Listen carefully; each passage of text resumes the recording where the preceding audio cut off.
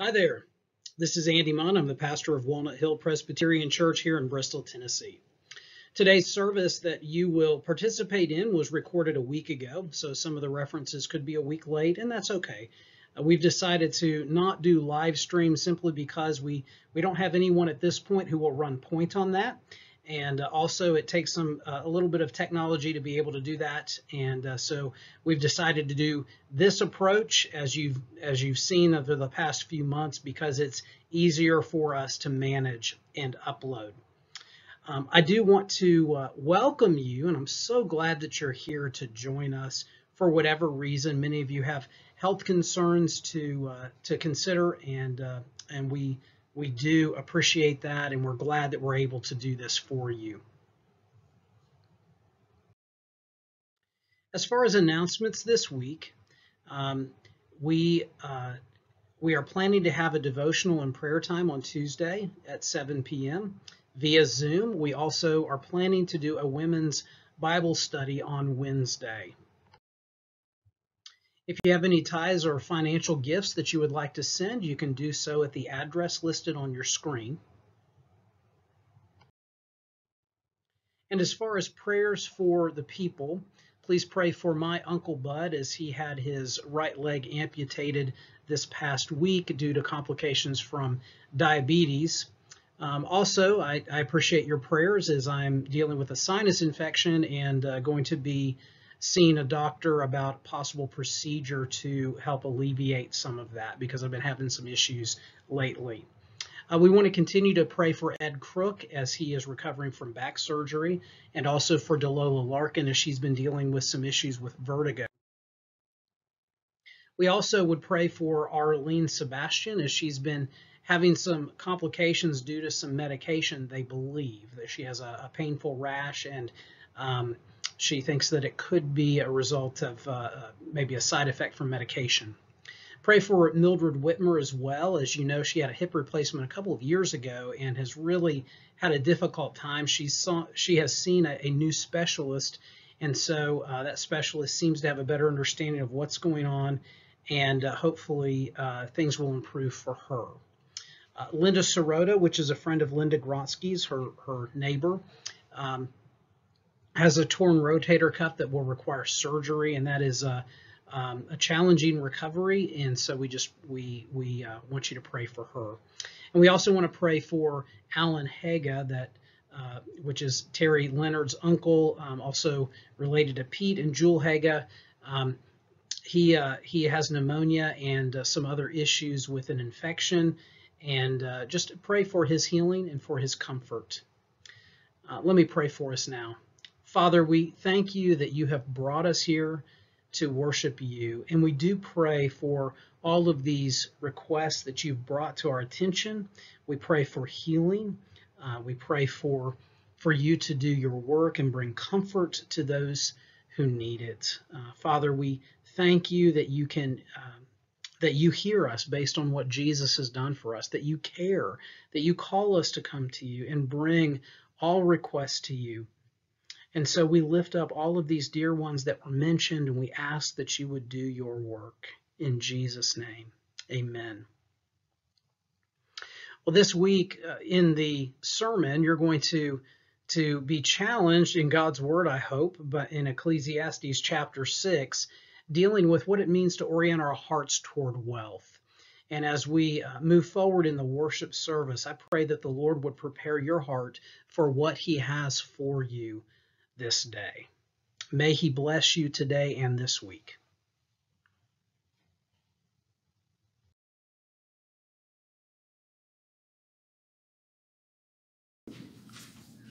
Call to worship this morning is found in Psalms 95, 1 through 3. Oh, come, let us sing to the Lord. Let us make a joyful noise to the rock of our salvation. Let us come into his presence with thanksgiving let us make a joyful noise to him with songs of praise. For the Lord is a great God and a great King above all gods.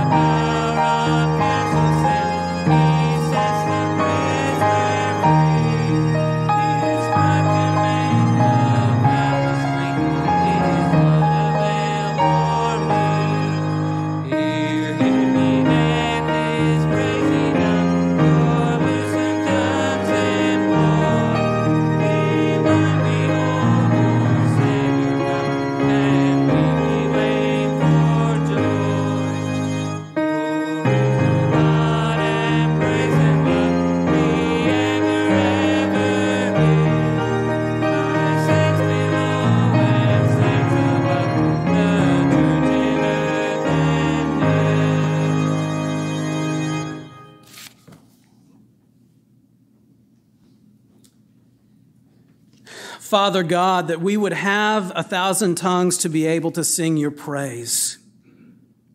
That we would be able to, with all of our heart, soul, strength, and mind, to praise you for who you are, your majesty, your greatness. That we would be able to, to praise you for your love and grace toward us. Those who rebelled against your holy name in sin that you sent your Son to die for so that we could be reconciled to you by faith in him. We praise you, Father. And we praise you, Jesus, God the Son, for offering yourself in our place as the perfect substitute and the perfect sacrifice. And you offer your perfect righteousness to us to be received by faith in you alone, not by works that we've done, not by our own goodness, not by our church attendance, not by our tithing, not by our anything except for your mercy and grace on the cross given to us freely by faith in you. And God, the Holy Spirit, we praise you, the one who is ever at work in us, making us more and more like Jesus. We pray that you would continue to shape us and that you would fight our resistance and we thank you that you do. Father, Son, and Holy Spirit, we ask that you would meet us in this place and work in us what is pleasing to you. In Jesus' name, amen. You may be seated. We have the opportunity to confess our sin together. Uh, and, and some may wonder, in fact, I grew up in a tradition where you just didn't do this. We didn't confess our sin together because it, I'm not sure why. Maybe it was because um, we just thought that, you know, it was kind of a downer. I really don't know. I don't know why we didn't do it. But here's the thing as believers, we still struggle with sin. And as believers, we have a confident assurance that when we confess our sin, Jesus forgives us. And so when we enter into a time of confession of sin, we can confess boldly that we have sinned against God knowing that Jesus is the one who has cleansed us from this sin. So let's take this time to confess these words together that are printed in the bulletin or on the screen. The same wording, I hope. um, and then we'll have a time of silent confession. Let's pray together. Oh, my Savior, help me. I am slow to learn, prone to forget and weak to climb. I am in the foothills when I should be on the heights. I am pained by my graceless heart, my prayerless days, my poverty of love, my sloth in the heavenly race, my sullied conscience, my wasted hours, my unspent opportunities. I am blind while the light shines around me. Take the scales from my eyes grind to dust my heart of unbelief. Make it my highest joy to study you, meditate on you, gaze on you, sit like Mary at your feet, lean like John on your breast, appeal like Peter to your love, count like Paul all things but done. I believe, help my unbelief. Amen. Let's take a moment to silently confess any specific sins that the Lord brings to mind.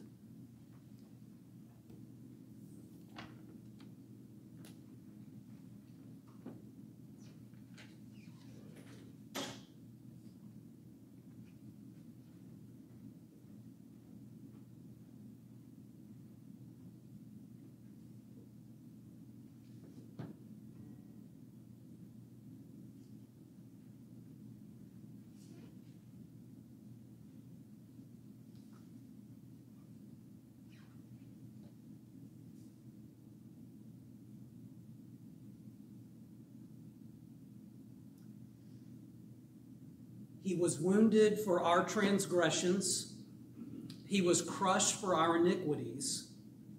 Upon him was the chastisement that brought us peace, and with his stripes we are healed. This is a verse that's telling us what the Savior would do.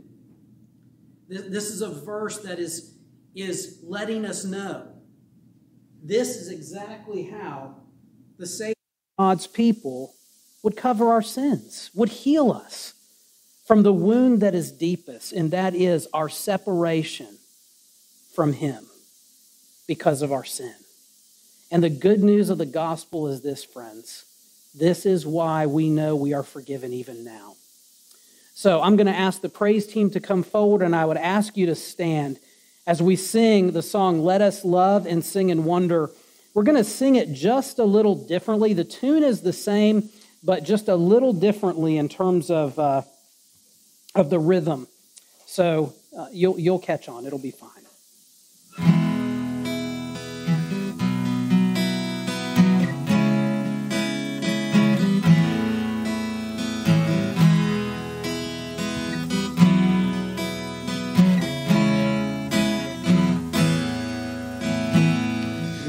Us love and sing and wonder. Let us praise the Savior's name. He has hushed the Lord's loud thunder. He has quenched Mount Sinai's flame. He has washed us with His blood.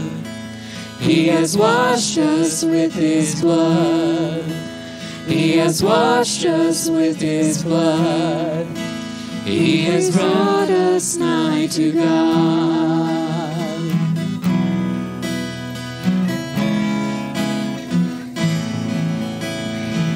Let us love the Lord who bought us, pitied us when enemies, called us by His grace and taught us, gave us ears and gave us eyes. He has washed us with His blood. He has washed us with His blood. He has washed us with His blood. He presents our souls to God.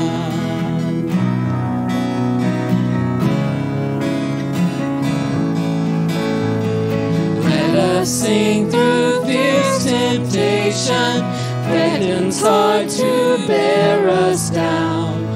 For the Lord our strong salvation holds in view the conqueror's crown. He washed us with his blood. He washed us with his blood.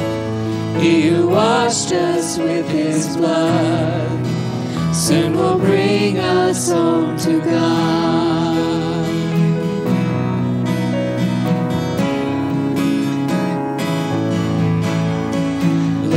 Wonder grace and justice, join and point to mercy's store.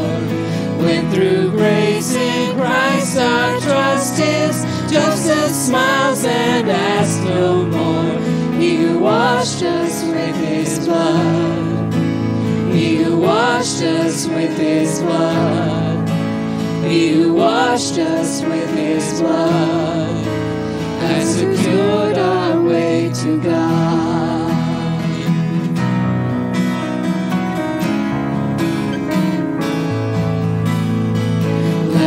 us praise and join the chorus of the saints enthroned on high. For they trusted Him before us, now their praises fill the sky. Thou hast washed us with thy blood. Thou hast washed us with thy blood. Thou hast washed us with thy blood.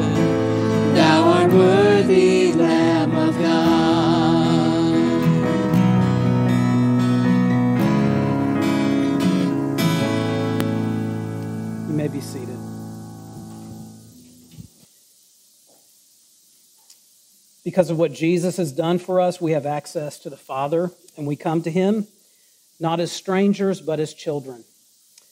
And so, because of the merits of Jesus, let's boldly go to the throne together. Father, we come to you as your children, praising your name, thanking you for your goodness to us. Father, we are a people who are weak. We are a people who are blind to certain things. And yet, in some areas, we're strong, and in some areas, our eyes are open. We are finite. And so often we, we don't understand that. There is so much going on in our world, in our nation, in our communities. I think most of us are very quick to, to jump on the others that we might disagree with instead of listening first and having good conversation that would lead to a deeper unity, a deeper love, deeper change. Help us in that, Lord. Help us to, to truly listen to others and see them as fellow image bearers of God first and deal with the differences with love.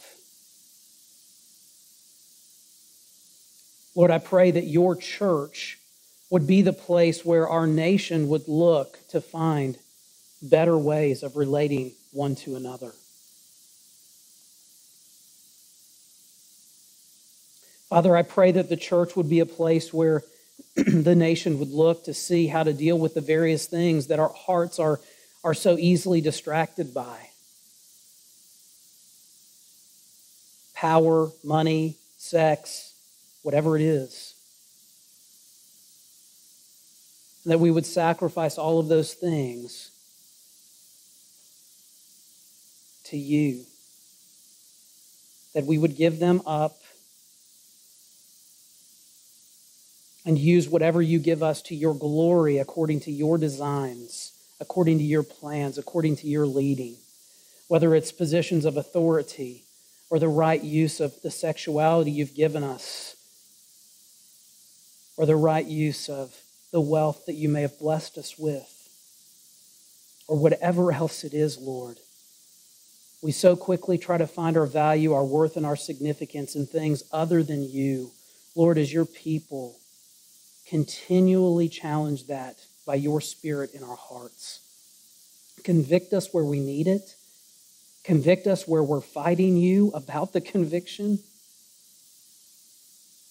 And continually shape us to be more and more like your Son.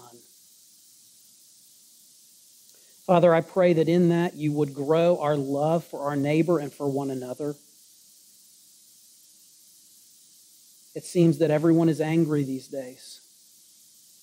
I pray that you would use us to be your ambassadors, ambassadors of your peace. That we would strive to fight the battles that you would have us fight, and mostly to fight them with the love that you've given us.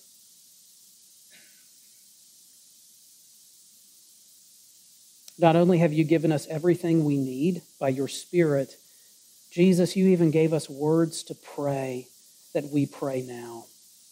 Our Father in heaven, hallowed be your name. Your kingdom come, your will be done on earth as it is in heaven. Give us this day our daily bread, and forgive us our debts as we also have forgiven our debtors. And lead us not into temptation, but deliver us from evil. For yours is the kingdom, and the power, and the glory forever. Amen. Well, I'm going to invite you to turn in your copy of the scriptures now to Ecclesiastes. We're getting back on track with Ecclesiastes. Our series here recently, um, since we've been in the pandemic, has been uh, what it means to orient our hearts. And the book of Ecclesiastes does direct us that way. It's Solomon's word to uh, his son, uh, presumably to his children as well, and certainly the Lord's word through Solomon to us about, frankly, where we tend to orient our hearts and where God would have us rightly orient our hearts. And we've looked at different things. What does it mean to orient our hearts in life, in time, uh, with our neighbor, with one another? And today, we're looking at what it means to orient our hearts toward wealth. Um, what I would like to do is just read one part of the passage, and we're going to look at the larger passage. I want to look at, at uh, chapter 5, verse 18. So, uh, hear the word of the Lord.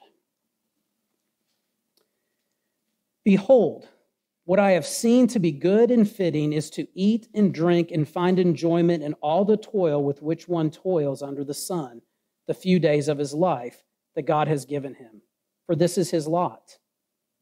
Everyone also to whom God has given wealth and possessions and power to enjoy them and to accept his lot and rejoice in his toil, this is the gift of God. For he will not much remember the days of his life because God keeps him occupied with joy in his heart.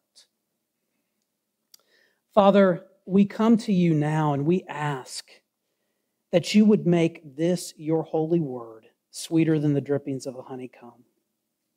May the words of my mouth and the meditations of all of our hearts be found pleasing and acceptable to you, our rock and our redeemer. Amen. I shared this story a few years ago in a different sermon.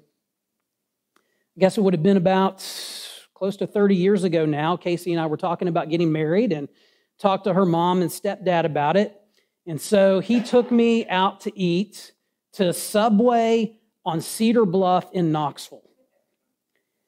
And we sat down, and I was a little nervous because he could be a little gruff, and, uh, and he enjoyed that, having a little bravado and uh, being a little antagonistic. And he looked at me, he leaned across the table. By the way, he looked like Papa Smurf. That was the joke. So, Papa Smurf, angry Papa Smurf, looking at me and said, So, what are you worth? I reached in my pocket and I said, Well, looks like about 27 cents. That was not the right answer. I'm not going to tell you what he said to me after that. And while I hated the question, as I've grown older, I'm probably like what he was asking. I look at the lives, the cars, the homes of other people, and I want more. I get on Facebook, and it's like this endless heartache. Look at their lives. Look how, look how successful they are. Look what they're doing. They're more financially secure and seem happier than me. Why am I sharing this with you? Because I know talking to people, Many of you do that too. I'm not alone. This is not a poor Andy moment, by the way. It's an Andy's just like you moment. And you're just like me. We want more. We tend to think that being happy means that we're more financially secure. I wonder, I've mentioned this before in sermons, I wonder if we would go back and visit our 20 year old self, and I know that there are many in the room that are younger than 20, okay? But if we could visit our 20 year old self and we could say, look, this is what my life is like right now. I wonder if our 20 year old selves would say, wow, you've exceeded what I thought I would do. But is it enough?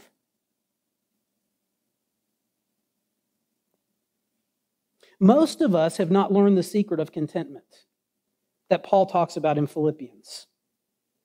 That in plenty or in want, not having anything, I can do all things through Christ who strengthens me. That's what that verse means. It's not an athletic slogan.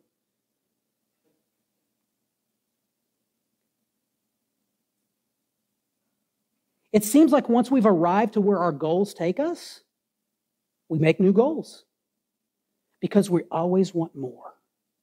More, more, more. We're never satisfied. And this is exactly the plight of our hearts that this passage is addressing. Jeff Meyers, in his book on Ecclesiastes, writes This passage is one we Americans need to hear. The problem in the country right now is expectations are so heightened that we come to expect more than we can ever hope to acquire. Thus, we constantly live unsatisfied lives. I think he's right. And what this larger passage is telling us is that our only hope in having a godly heart orientation toward wealth is for God to do a work in our hearts. That's the only way we can have the right orientation toward wealth. It's for God to work His power in our hearts, to shape us. And there's two main ideas we see come out of this passage. One is the weakness of wealth, and the other is the power of God. The weakness of wealth and the power of God. So let's first talk about the weakness of wealth. The weakness of wealth, um, in large measure, deals with the false sense of power that wealth can give us. And the passage talks about that, and we'll see that in a moment. But, but we know that that's true because in our nation, we're kind of fixated on wealth, whether, whether we realize it or not. In fact, I would guess that right now, if I'd ask you the question, Are you wealthy? most of us would say no. No. In fact, let me tell you how I'm not wealthy. And then we start talking about different things, financial things, and we find out uh, that in certain contexts, our problems are, as we jokingly say sometimes, first world problems. I was at a restaurant the other day with uh, a friend, and uh, and they this restaurant uses paper straws. Have you ever used the paper straws? Oh my goodness! You think masks are bad? I mean, it's like Pixy Stix with really, th- really thick Pixy Stix. And so when you're like, drink, it's just a texture thing. We both were like, oh, and we were complaining about the straws. And I said, wait, we're complaining about straws while we're drinking clean, purified, iced water. Oh, first world problems. The first thing that we see about wealth in the passage, this is back at chapter 5, verse 8, is that an improper focus on wealth creates social problems. This is the first weakness we see of wealth. An improper focus on wealth creates social problems. Verse 8 If you see a province, in a province the oppression of the poor and the violation of justice and righteousness, do not be amazed at the matter. For the high official is watched by a higher, and there are yet higher ones over them. But this is gain for a land in every way, a king committed to cultivated fields. Now, now we read these kinds of things, and frankly, if you look at them, you go, okay, what in the world is he saying here? I think I get it, but then what's that last verse about? The last verse is basically saying there, there's going to be wealth in the land, and, and it's good for a king to cultivate fields because it creates more jobs, right? That's kind of the idea. It's kind of a practical application.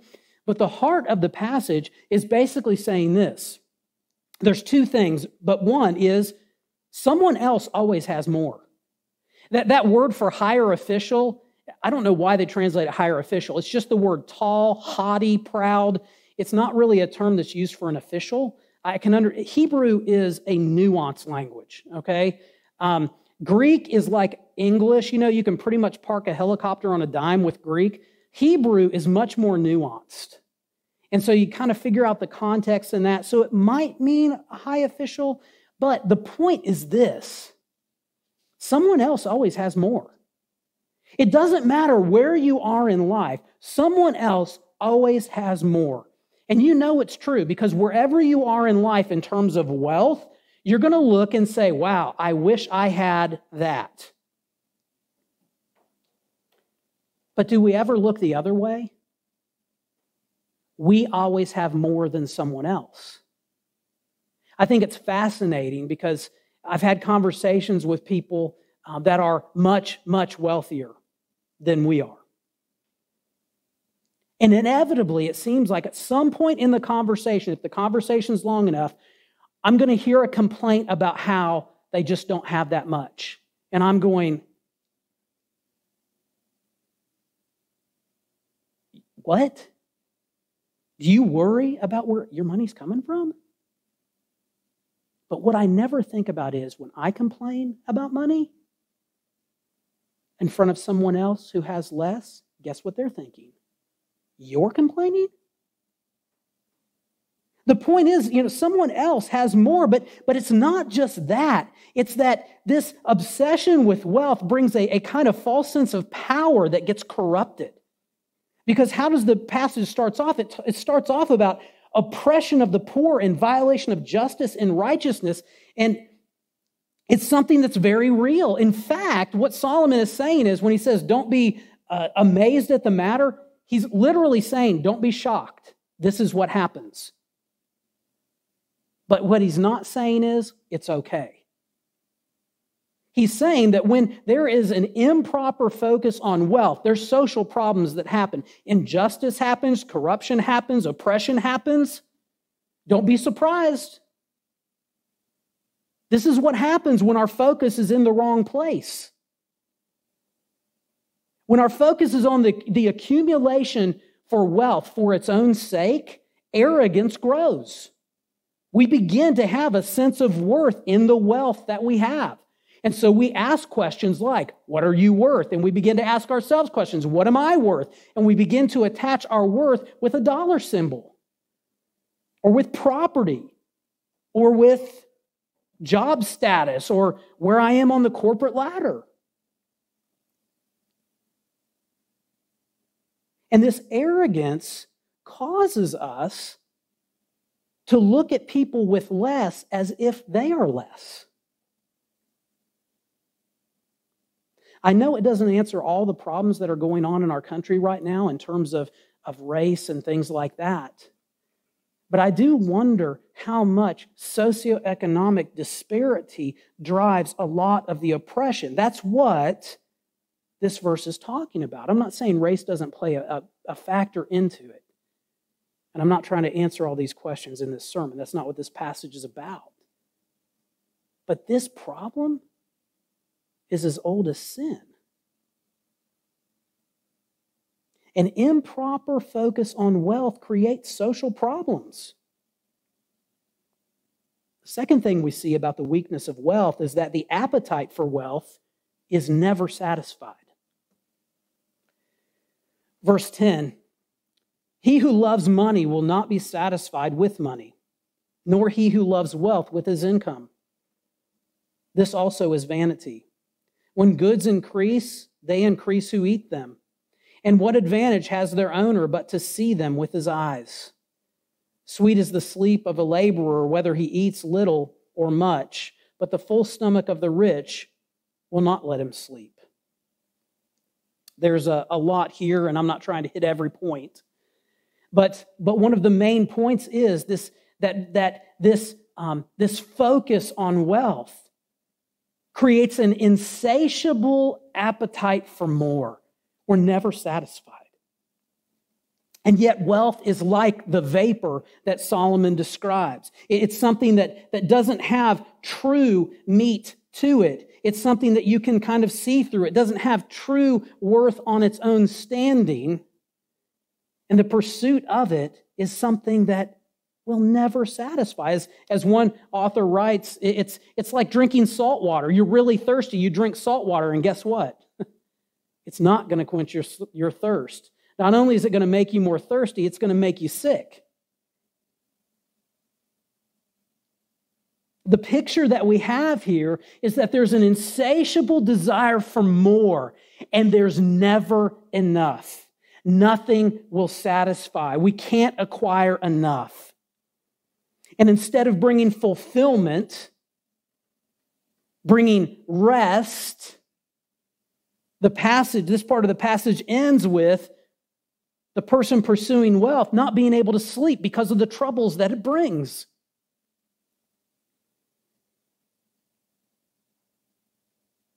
and even talks about how we can watch others consume the things that we work hard to build.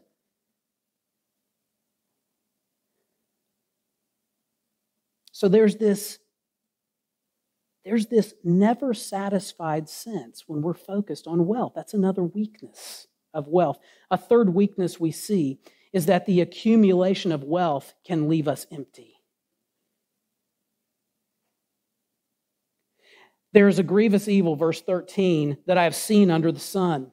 Riches were kept by their owner to his hurt, and those riches were lost in a bad venture. And he is father of a son, but he has nothing in his hand.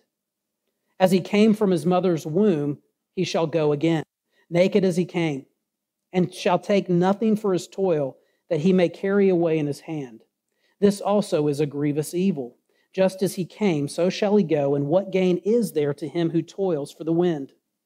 Moreover, all his days he eats in darkness, in much vexation and sickness and anger. This passage mentions two grievous evils. And it's talking about the accumulation of wealth.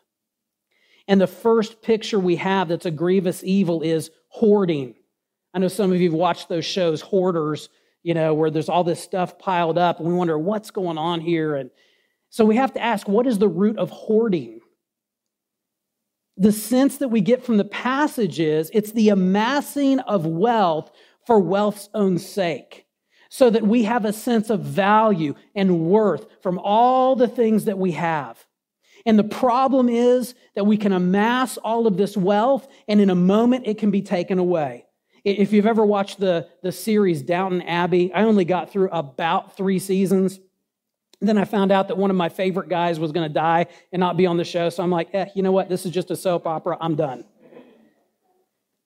But it, part of the, the big deal and the, the premise of the show is, and now I just ruined it for some, but he's been gone for like 10 years. So it's not a spoiler, okay? Um, if I found it on the internet, you can too. But the point is, you know, the, the premise of Downton Abbey within the first couple episodes is that the main guy, is it Crowley? Is that his name? I can't remember the main family's name. But anyway, he loses everything because he invested everything in the railroads in the US and it went belly up. It's a picture here. We can invest in so much, hoard in so much, and it can be gone like that. And, and what the point is, we can focus our attention, our sense of worth, our identity, our value in our wealth, and we can hoard it up. And not only is hoarding up showing us that we are attributing worth and value, our worth and value to this stuff, but the grievous evil number two is we can spend our whole lives hoarding, but do you know that when you die, you don't take it with you? Just like it says in Job Naked I came into the world, naked I shall return. Casey's stepdad used to joke that in his funeral he wanted somebody to rent a Brinks truck and follow the hearse. Why? Uh, it was a joke, right? He was, you know, because you know, I mean, here's the, you know, you can't take it with you. And even in this passage, it says, and, and if you lose it all, you don't have anything to give those after you. Here's the thing wealth is temporary. And it will never give us what we truly desire. It will never give us true worth. It'll never give us true satisfaction. It will never give us true significance. It will never give us true value. And yet we spend our whole lives focusing on improving our financial portfolio.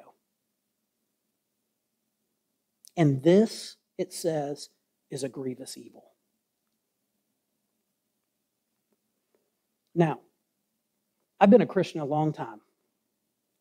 And I've had, I've had lots of conversations about money. And what do we do as Americans when we talk about money? We quickly run to 1 Timothy 6. Oh, it's not money that's evil, it's the love of money. That's absolutely right. Here's the thing we run so quickly to that verse, we don't see the danger of what wealth can do. We don't see the weakness of wealth and really sit in it. It is absolutely true that it's the love of money that's the root of all kinds of evil. And that's what Solomon is talking about here. That's the weakness of wealth when we fixate on it when we try to accumulate it for its own sake, when we put our value and our worth in it, it is a dangerous thing. In fact, in Hebrews, it says, Keep your life free from the love of money and be content with what you have.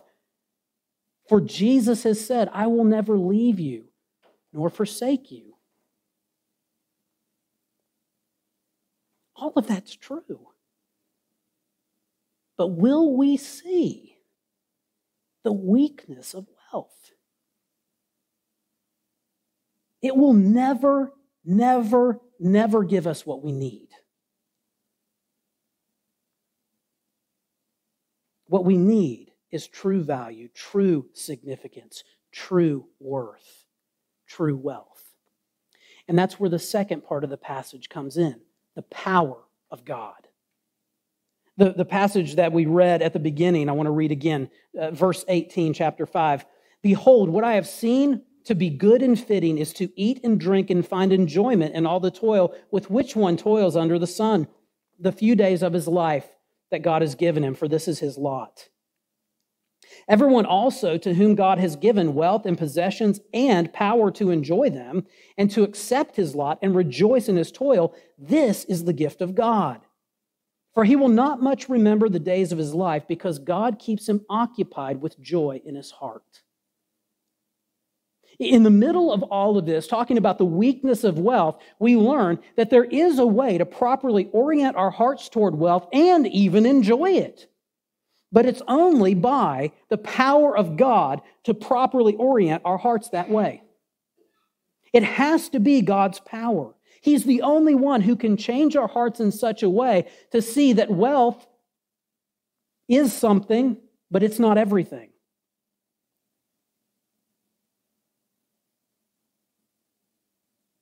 While it is correct to say that wealth is not in itself evil, that is true, it's also correct to say that in the U.S., we have made wealth an idol. And we only need to look in our recent past to see what's, what we think.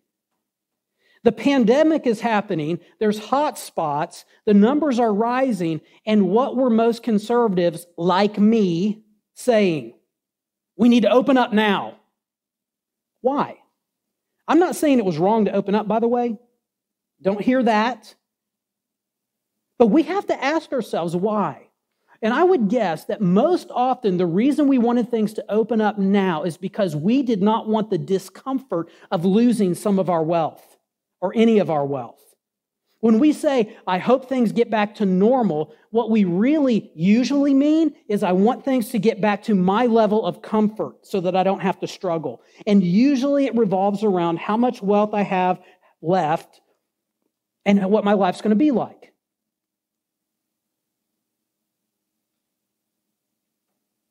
And when we ask, What are you worth? and we ask, What am I worth? We do have that dollar sign. And what we need is a fundamental heart transformation. And that can only happen by the power of God. That's why it says it's only by the power of God that you can enjoy these things. I know that what we want to have is a sermon that just talks about enjoying the wealth. I know that because that's comfortable. It doesn't poke us and prod us. But the majority of the passage is telling us look out for an obsession with wealth. But if you want to know about wealth in God's perspective, you have to have God do a work in your heart. It has to be His power that does it. And so we have to ask the question how, can, how does God change our hearts? How do we see the power of God at work in us? And it does begin by faith in Jesus Christ. In 2 Corinthians chapter 8, um, we have two letters of Paul to the Corinthians um, that are existent, that we think that there's a third and a fourth um, because of references he makes, but we know that we have two that are part of the canon of Scripture. And what we have to understand is that the Corinthian church, in large measure, was like the churches in the United States. It was filled with a mixture of people, but it was largely wealthy. And so, Paul had been collecting money for the relief work of the saints.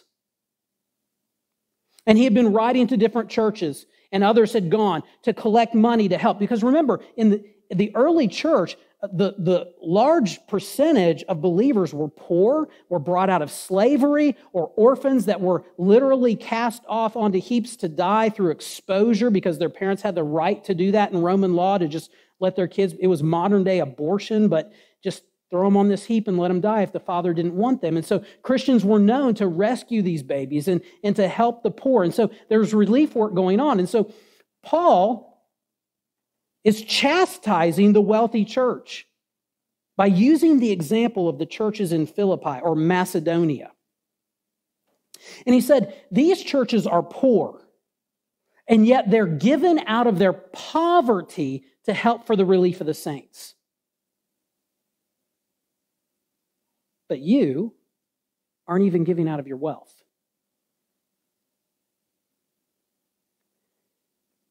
Now it's interesting. he's, he's referring to these same Philippians that he wrote. I know the secret of contentment, whether I have plenty or I'm in want. I can do all things through Christ who gives me strength. And he's using them as an example to say they're giving out of what they don't have to help people who don't have. And you, who have a lot, aren't giving a whole lot. And then he directs them to the gospel. How could their hearts change? How could their lives change because of their heart change? He says it's by faith in Christ. He says in, in chapter 2 or chapter 8, verse 9 of Second Corinthians, For you know the grace of your Lord Jesus Christ, that though he was rich, yet for your sake he became poor, so that you, through his poverty, might become rich. You know that the grace of our Lord Jesus Christ, that though he was rich, yet for your sake he became poor, so that you through his poverty might become rich. He's saying, You know the grace of Jesus Christ. You know it. You're intimate with it. You know him. And you know, and he's using a play on words here to drive a point home, to show what real wealth is. He says, You know that he was rich. What was Jesus rich with? The riches of glory in the heavenly realms and he became one of us.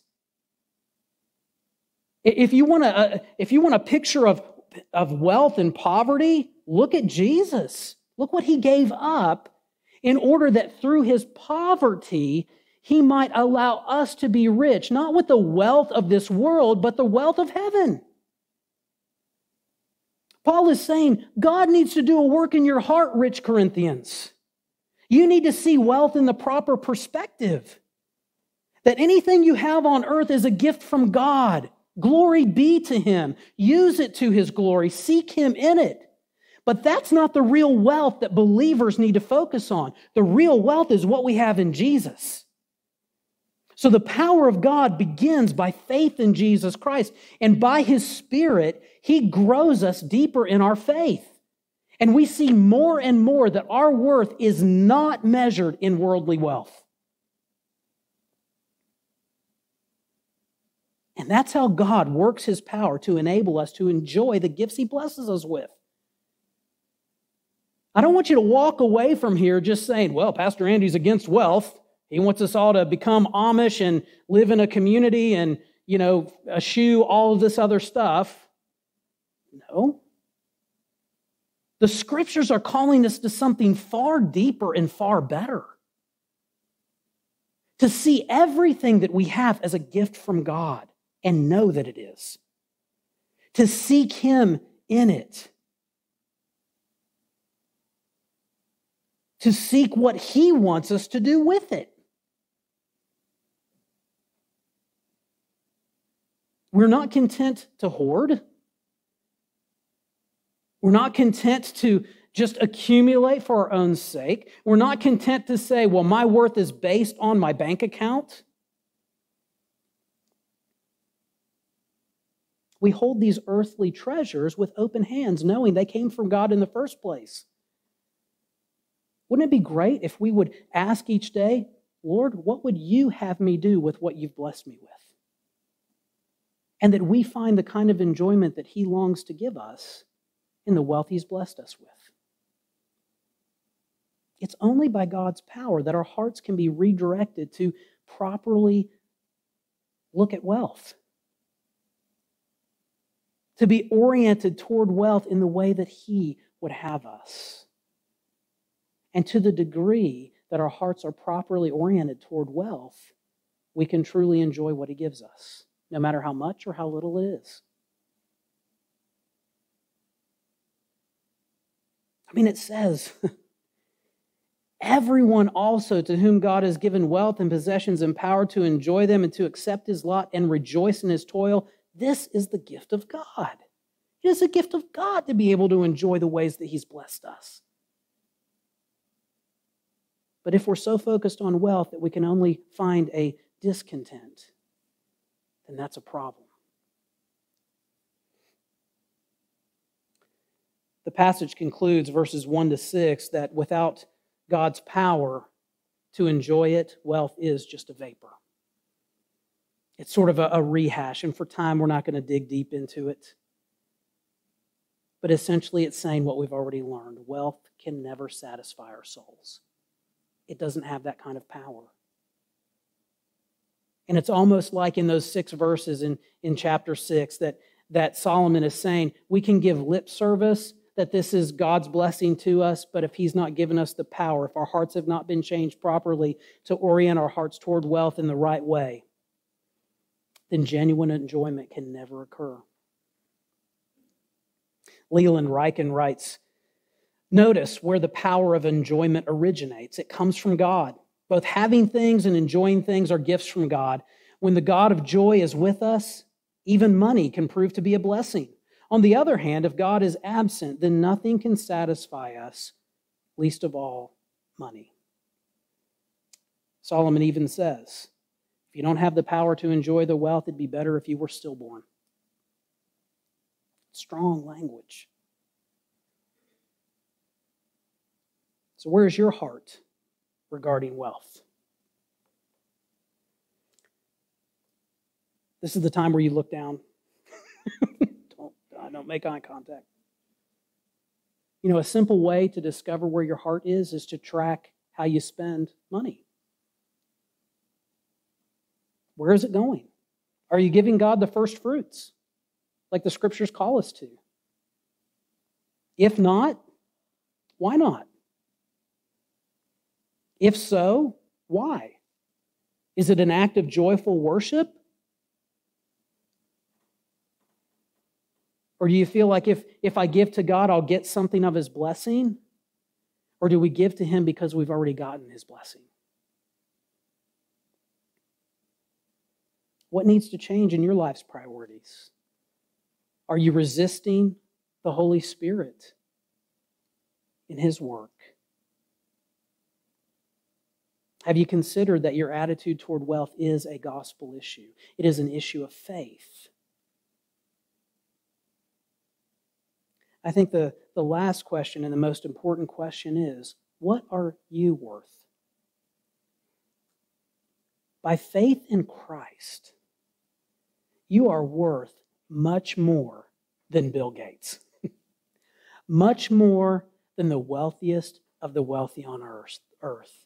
Because in Christ you have the surpassing riches of glory that He has given you. Because He became poor, so that through His poverty, by faith in Him, you can become rich. And that changes how we see wealth. Father, I pray that you would drive your word deep into our hearts Challenge us where we need challenge, convict us where we need conviction. And bring us the enjoyment that can only be had by a heart that's oriented on the things that you would have us oriented upon. In Jesus' name.